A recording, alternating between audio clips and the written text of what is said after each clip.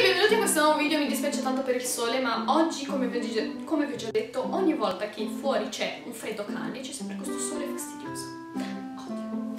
Comunque oggi volevo fare una story time, ovvero la mia prima story time e, vi parlerò del mio primo arrivo in Canada uh, primo arrivo nel senso quando mi sono trasferita per uh, la magistrale perché io in Canada c'ero già venuta l'anno prima uh, per passarci tipo delle mini vacanze però questo è tipo il mio primo arrivo in Canada nel senso che cosa è successo quando mi sono trasferita per la magistrale perché ho avuto tutte le sfighe del mondo nei soli primi tre giorni Allora, eh, prima di tutto io mi sono trasferita eh, nel 2015, novembre 2015, 12 novembre 2015 io sono arrivata in Canada. Eh, ho atterrato a Montreal. Ovviamente io studio in una città Uh, ovviamente io ho studiato in una città uh, più lontana da Montreal, tipo un'oretta e mezza, però per fortuna un mio amico che era in Erasmus come in Belgio è venuto a prendermi perché anche lui abita, abita in questa città. Uh, uh, ovviamente il volo è stato, non è stato il peggio del peggio e siamo arrivati con calma, uh, io avevo l'indirizzo dell'appartamento dove sarei andata a vivere. Bene, sono arrivata lì che era abbastanza tardi, erano le 6 di pomeriggio 7, per me erano tipo già l'una di notte, ero veramente stanchissima e sono arrivata in questo appartamento che avevo solo visto su Skype, che ho parlato col ragazzo e basta. Quindi sono arrivata, l'appartamento non era niente di che, diciamo, eh, la, la, camera era abbastanza piccolina, però ho detto vabbè dai, non importa. Ovviamente dovevo condividere la casa con questo ragazzo con cui ho parlato, una ragazza che non so, non avevo ancora visto. Arrivato ho conosciuto il ragazzo che era appunto Loic eh, e lui mi ha detto appunto ah, guarda questa è la tua stanza, questa è la cucina, mi ha fatto un po' vedere in giro, lui era francese ed era in Erasmus lì. Abbiamo un po' parlicchiato così, mi ha chiesto un po' come è andato il volo eccetera eccetera, poi mi ha detto ma eh, questa ragazza con cui dobbiamo vivere ti ha detto che il suo ragazzo verrà a vivere con noi e gli ho detto io non con lei non ci ho parlato onestamente, lui mi fa guarda lei si porterà il moroso che abit abiterà con noi.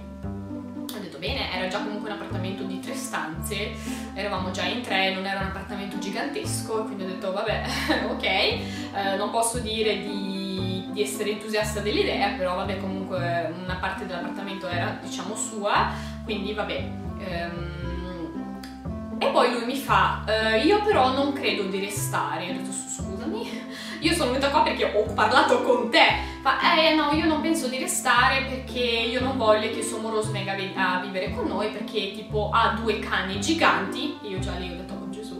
Ha due cani giganti e poi loro hanno anche un gatto. Ho detto vabbè il gatto non ho problemi, però dei cani giganti non lo sapevo. Non che i cani mi facciano paura, però onestamente non mi piace vivere con dei cani in un appartamento. Se avessi la casa avrei un cane, ma in appartamento a me i cani non piacciono uh, soprattutto se sono giganti, ecco. Quindi praticamente lui mi fa, io penso di cercare altro perché, mm, perché appunto non mi entusiasma l'idea, poi sono moroso, tipo uh, è abbastanza un mezzo criminale, io ero là tipo, allora figlio mio, io non capisco se tu mi stia prendendo per il culo perché sono appena arrivata e sono la novellina oppure mi stai seriamente dicendo sul serio dove cacchio sono arrivata nel The Hood quindi alla fine ero tipo ok io stavo spacchettando le mie cose pian piano ho detto ok bene e io ho messo già tutto a posto, ho chiamato i miei, ho detto sì sì dai carina la cosa, niente di che, però non, non mi entusiasmava comunque la casa. Il giorno dopo lui mi fa devo andare all'università, vuoi venire con me così vedi un po' il campus, siamo andati a vedere un po' il campus eccetera. Al nostro ritorno eh, la stanza della ragazza era aperta, pensavo fosse tornata, invece lui fa no no, lei la lascia aperta sempre. A una certa lui, eh, a una certa lui arriva questo mio coinquilino arriva e, e dà una pistola in mano. Cioè, io non sto neanche scherzando. Ha una pistola in mano, io lo guardo, faccio, ma quella cosa è vera? E lui mi fa, sì, faccio, ma è tua? E lui fa, no, no, non è mia, è del moroso di, di questa tizia. E ho detto, perché con la pistola in mano ti prego vai a metterla giù perché io ho ansia che adesso mi fa parte un colpo e moriamo tutte e due.